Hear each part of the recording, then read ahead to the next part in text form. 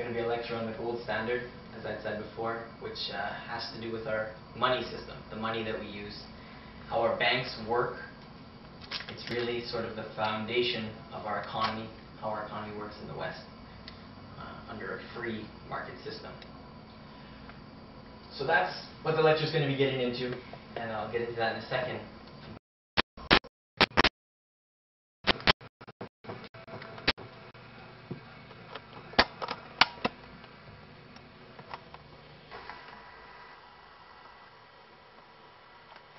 Without having to raise taxes for it. The number one being war. Um, our country has gotten into two major wars and several minor wars throughout the 20th century. World, uh, obviously, I'm talking about World War I and World War II. And as you'll see, both of those wars were not a result of, but were only possible because Canada moved on to, moved from a system where we use gold as our money, moved towards a system where the government could print paper dollars and we would have to use them as money. Uh, and the federal debt, um, this it, it, gets a little more technical about it, the process of how that money is created. But um, the bottom line is that because the banks can print money, which is what they do, that's uh, our system is called fractional reserve banking, where banks take in loans, uh, sorry, banks take in deposits. When we go to the bank, we put in our money, put in this much, and the banks then loan out this much money. So what that means is the banks have a tremendous amount of lending power, and that lending power is primarily being lent to government. Also through the uh, central banking process, which I'll also be getting into, the um, central government is accumulating a tremendous amount of debt. By their being able to print so much paper dollars, our government is partly borrowing those dollars and getting us into a deep debt. Uh, the, the next problem is um, the rise of big business and how and pushing out small businesses in our economy. Um, the fact that our banks are large and that they're um, they have a tremendous amount of power because they precisely because they can make loans, huge amounts of loans. They're loaning to the best possible um, returns for their money, and that's going to be loaning to government, and that's going to be loaning to corporations. Um, Another problem is the boom-bust cycle. Because there's a central control of our money, because uh, our money can be printed by the government and by the banks, it can be controlled. It can be increased, it can be decreased. And that process of increase and decrease leads to employment and then unemployment. You have something called the business cycle.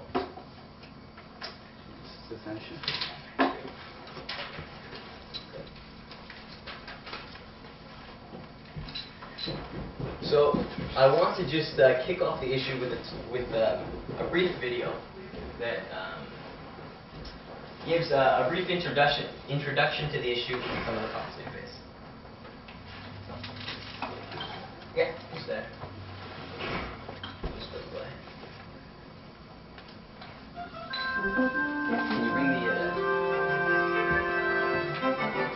Turn off the lights. Just go outside and kill the lights.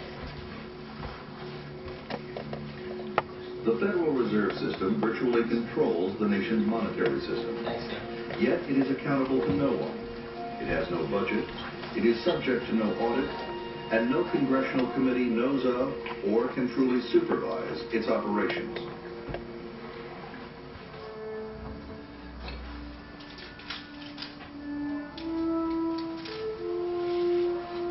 For more than 20 years, the living standards of middle-class Americans have steadily declined. Incomes have remained flat or fallen, and the opportunities and security we once took for granted have begun to fade. For most families, one income no longer pays the bills. It requires two or more incomes to afford a home, pay medical and child care expenses, and put children through school. Unless present trends change, young workers are unlikely to ever live as well as their parents. Good jobs with a future are harder to come by. Education doesn't count for what it once did. Taxes continue to rise, while Social Security is going bankrupt.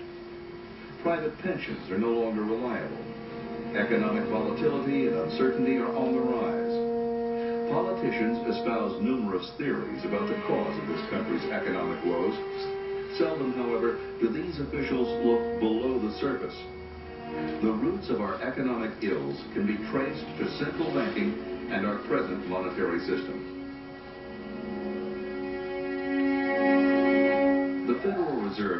To manage our money. Instead, it makes our money worth less and less every day. It has generated continuous and worsening business cycles and lowered our living standards. It's really no different from a burglar in your house wanting to steal your money. That's what the Federal Reserve does. It, it depreciates your savings, it takes away your uh, economic security, and it ought to be treated as an institution that does that rather than something of alleged benefit. Money is supposed to serve as a reliable standard of economic value, not a source of instability. Until we restore sound money and take away the government's ability to debase it, we have little hope of restoring the freedom and prosperity that made America great. And uh, we really have a choice of what we want in money. Do we want money that's going to be losing its value every year, or do we want money that's going to be gaining in value? If you are happy with your money losing value, then you want the present system. If you want money to increase in value, then you want a gold standard. What is money? As the good that makes exchange possible, it's the foundation of every economic activity. In 1792, Thomas Jefferson adopted the dollar as this country's official monetary unit. He looked around and investigated to see what were the American people using it for, and that was the dollar. And so that's why that, that dollar became the standard of the United States. And we went onto gold and silver standard and started making gold coins with the American eagle, $10 gold coin. Jefferson, in particular, spoke eloquently of the dangers of paper money. During the War for Independence, the Continental Congress printed vast sums of paper money out of thin air to finance the Army. The diluted money supply naturally depreciated to almost nothing, leading to the phrase, not worth a continental. The people who held on to these notes, who tended to be patriotic Americans, concerned about wanted America to be free of British uh, British control, lost everything. Whereas the Tories, who wanted nothing to do with this American government money, immediately got rid of it, were benefited. Uh, and Pelatiah Webster, the first American economist, and others who looked at this saw that this paper money, unbacked by, by gold, was extremely dangerous.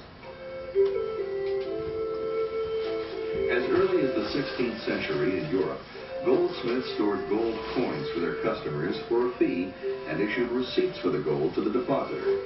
Thus began the use of paper as money. In other words, if you came in and deposited 10 ounces of gold for safekeeping, you got back uh, receipts in the amount of 10 gold ounces.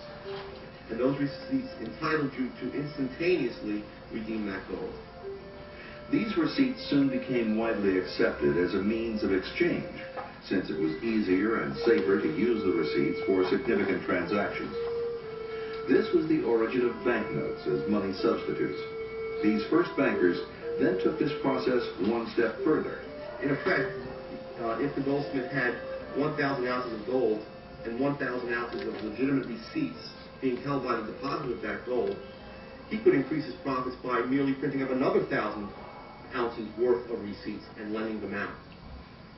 In which case, you would effectively get 50% reserve banking, fractional reserve banking.